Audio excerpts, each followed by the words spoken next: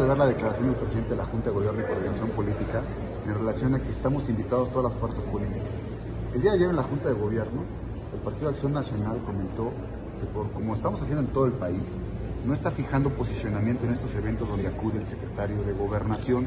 Además, yo lo hice patente en la Junta de Gobierno. Me extraña porque el presidente de la Junta dice que estamos invitados, cuando desde ayer nosotros mismos señalamos que no, una posición nacional que tiene el partido, no le vamos a hacer el caldo gordo al secretario de Gobernación que anda más en gira electoral, promoviendo un acto unipersonal, un acto que invade la soberanía de cada Estado. Entonces, me extraña la declaración del presidente de la Junta de Gobierno.